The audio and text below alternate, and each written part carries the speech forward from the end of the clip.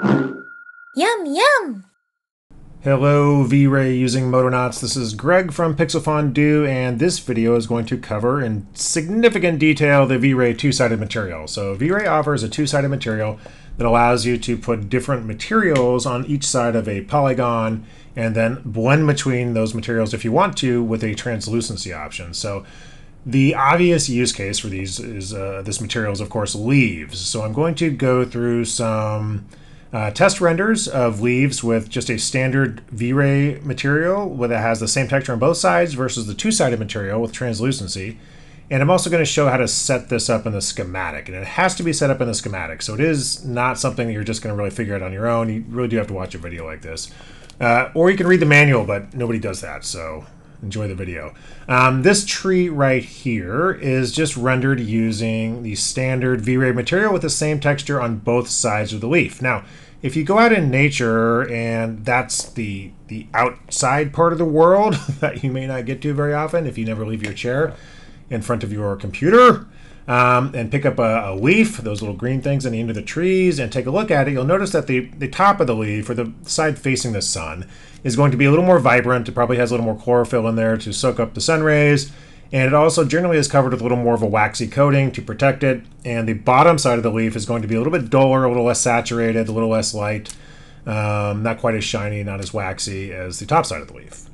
So we want to emulate that with the V-Ray two-sided material. And so when I drag left here, you'll see this tree coming into uh, uh, uh, focus here is using a V-Ray two-sided material on the leaves and with some translucency on. So you'll notice right away it's not as vibrant as the side on the left here, which is just using the standard V-Ray material.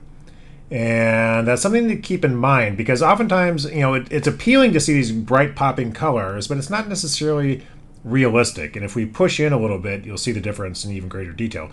Um, so why don't I actually do that? Let me look at the this close-up version here. Let me just set that to A, and I'm going to right-click on this version over here and set that to B. And when I slide between these two, you can really see that desaturated underside of the leaf here versus if I push this way, you know, the left-hand side of your screen here, it's vibrant and it's the same texture on both sides of the leaf all the way through. And uh, if I go over here, you see this duller underside of the leaf. You'll also notice that we're losing a lot of this detail here. These orange or yellowish spots, we're really losing a lot of that on the leaf. And that's because of the translucency options we have there.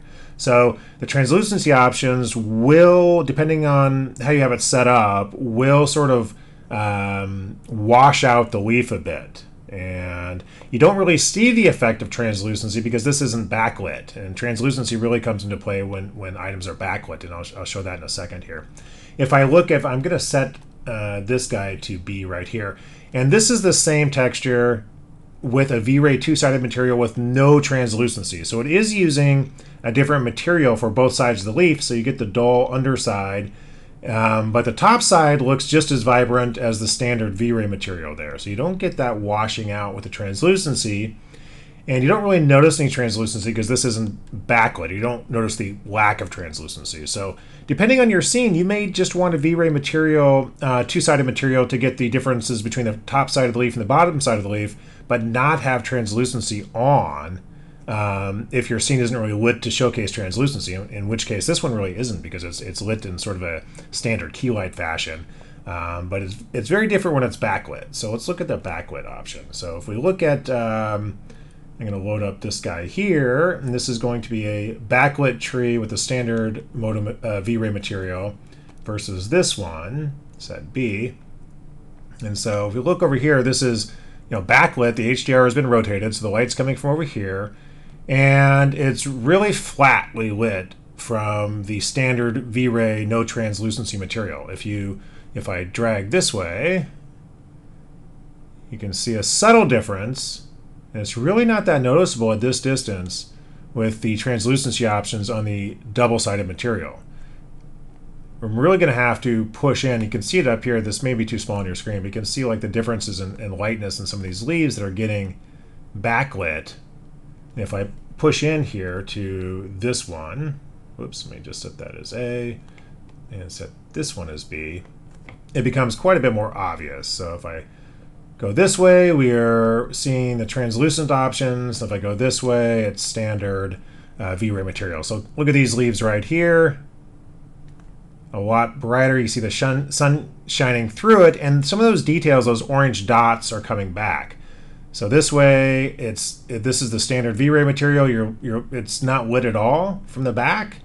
And if I go this way, it's lit from the back, and we're getting these, you know, bright you know this detail back, these bright sort of yellowish spots in here. If I keep on going, you see these leaves here that are being backlit, and here we get this color bleeding through. So it's very noticeable when we're up close, but it's not as noticeable when we're pushed back. Again, something to keep in mind when you're creating this scene. Um, if I now this is with a translucency texture, so this is actually using a Megascans texture for the leaves uh, leaves, not leaves. And uh, let's see if I double click this guy. This is the translucency texture I'm using. So the translucency texture can use a full RGB image. And this is what just ships with Megascans. Uh, it can also use uh, just a value though. So if I click over here, you'll see this translucency value. Um, you can just have a gray or white value there. And just to show you the difference, this is a value of 128. Let me set this as B. So if I load this value up here, that's just using a sort of a medium gray, we're losing some of that yellow detail that is still translucent, but this sort of the entire leaf is a little bit brighter. We don't have that yellow detail, the sort of the bright spots of the leaves or the thinner spots of the leaves showing through.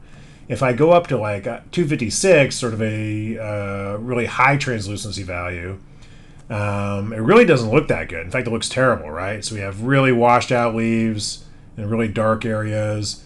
And so the point I'm getting is more translucency isn't necessarily better. So if I set a 128 gray translucency to the left and a textured translucency to the right, this has the texture I just showed, uh, this texture on the right side. On the left side, it just has this, I'm just using a gray value, right, of 128. And again, you can see this detail in here coming out in the textured translucency. So if you have a translucency image map or we want to create one, you're going to get some nicer detail in your image than just using a flat gray value in the uh, in the two-sided material. Okay, so I also have a what do I have here? I've got a 4K one I rendered with translucency just so you can take a peek at it. Um, and this is the material at 4K, and we get to push in a little bit. So you can see there's quite a bit of detail in here. All these yellow spots you see uh, with it being backlit, are those are coming from the translucency.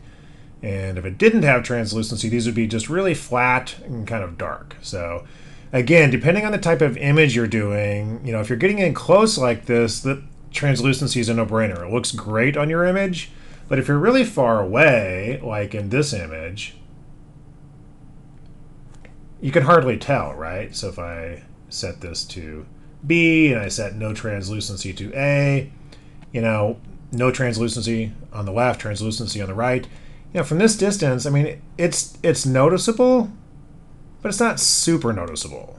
So again, it's just sort of up to you how you want to do it. But there's that. Okay, so with all of that out of the way, let's dig in and take a look on how to set this up.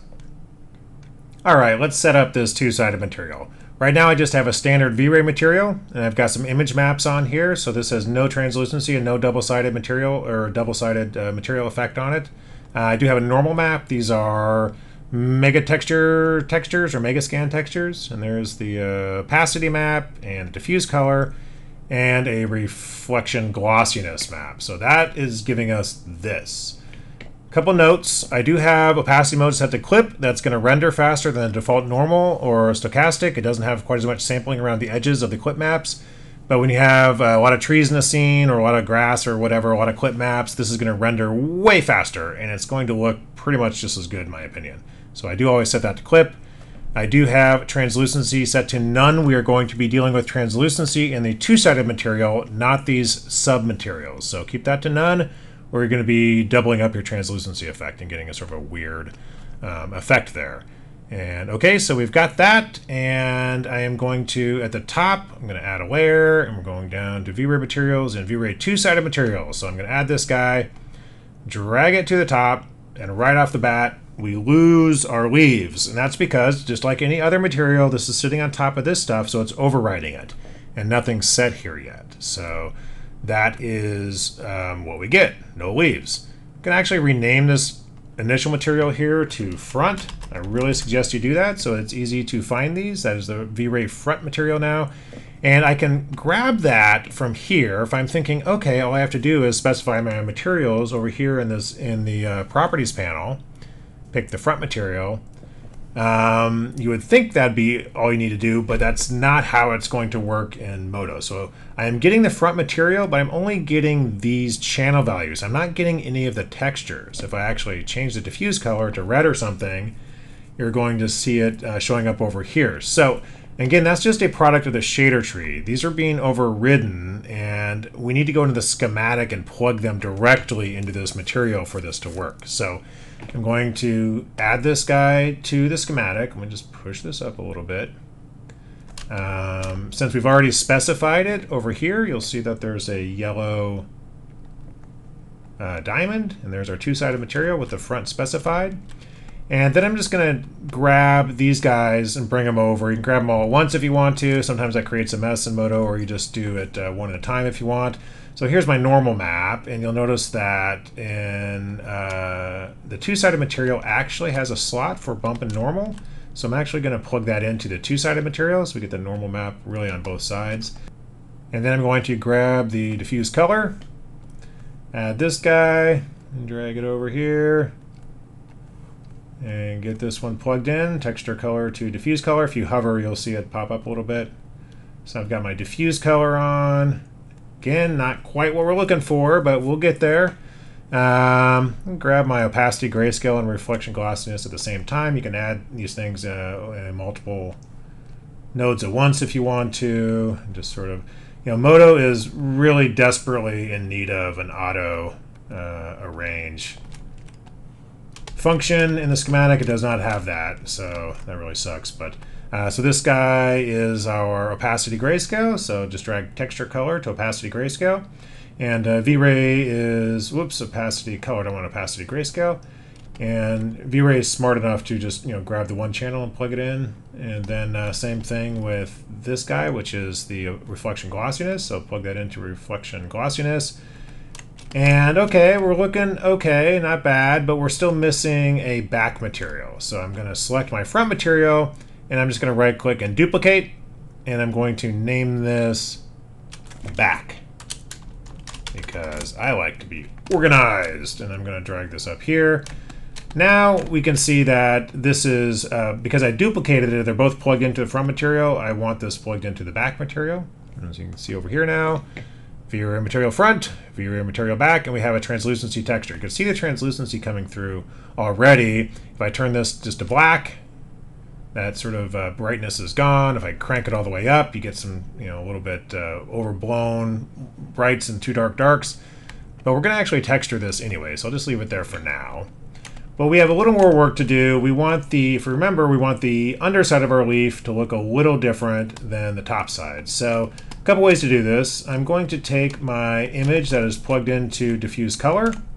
And over here, I'm going to add a V-Ray color correct. There's two V-Ray color correction nodes. Uh, they both will work. I'm just going to grab the top one. I think they're probably from different versions of V-Ray, or they just, you know, V-Ray has been around for a while. It's got a lot of nodes that can kind of do the same thing. So I'm going to push down here just to zoom in a little bit, and you can see what's going on. So I'm going to unplug that. I'm going to plug the texture color into the texture map. Okay, so now I can process this green image here. So this diffuse color image I'm going to process to make it less saturated and a little bit lighter to be on the bottom side of the leaf. So then I'm going to plug the output, the texture color output, into my diffuse color input on my back material. And once I do that, I can go in here and adjust some settings. The way this works is you actually, you know, click these on. I'm going to click HSV processing on. So now it's processing. Now I'm going to turn my saturation down to about 0.5 saturation gain, so half is saturated, a lot more gray.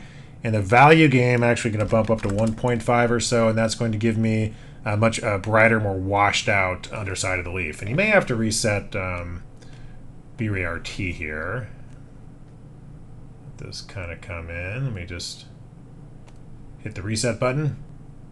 And now you can see that sort of washed out underside of the leaf coming into effect here.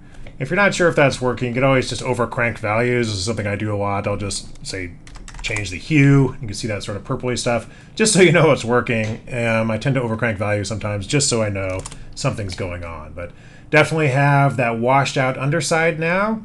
And then we're going to blend between the two with, with the translucency effect. Right now, we're just using this um, simple color, which is sort of just a linear blend between the front and the back. And again, if I turn this all the way to black, uh, you'll see with no translucency, it's a little bit easier to see the difference between the front side of the leaf and the back side of the leaf. So we can push in a little bit more. I might be at 100%, but uh, push in a little bit. So there's that sort of desaturated back side of the leaf, right?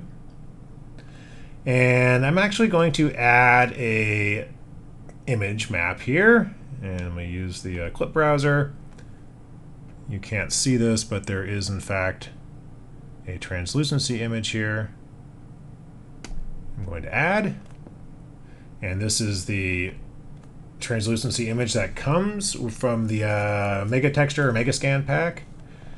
Right click, you can do this two ways. You can right click and go down here to V-Ray two-sided material channels and set it that way, translucency color. And here you see these yellow dots and some of that detail coming back through in the translucency of the leaves. Um, you could also just add it, you know, if you want to, you can go to the schematic. If you want to stay in the schematic, you can, you know, of course, drag this guy down here and do texture color to translucency texture. Same thing, it's going to be the same effect, right? because this is on top here. It's going to be setting it. And keep in mind, you know, V it looks pretty complicated, but you know, keep in mind, like V-Ray has lots of materials. So each material, like here's the standard one, has all these different effects. Well, the V-Ray two-sided material really only lets you add a translucency texture. So that's the only one in there. But you can also just plug into the schematic directly. So now you see that coming in. Let me push out a little bit just so you can see the difference and push out. Or hit the uh, asterisk on your numeric keypad, it'll go 100%. If you don't know the shortcuts in the V-Ray window, you can do plus and minus on the numeric keypad um, or asterisk to go to 100%. So that's always nice. And yeah, you'll start to see quite a big difference in the look of the leaves with the two-sided material. So we got this translucency effect coming in right here. Let me just sort of and you've got the underside of the material as well. So that's it. There's a fair amount of schematic work that, that goes into making this work, but um, the results are pretty good. And it's the only way to do it. You got to jump into the schematic. So there it is. Yum, yum!